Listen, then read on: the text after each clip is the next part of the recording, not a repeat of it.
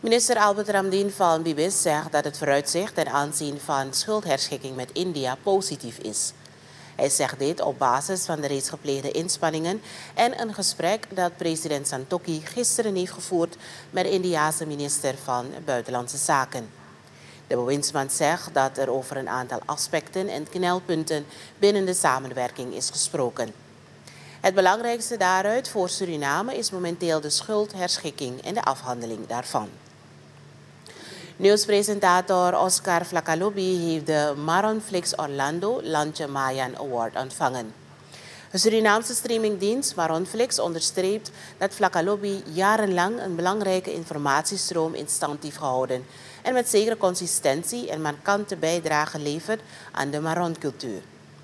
Flacalobi heeft als nieuwspresentator op zijn eigen ludieke manier jarenlange onafgebroken informatie gebracht naar en vanuit de Maron-gemeenschap.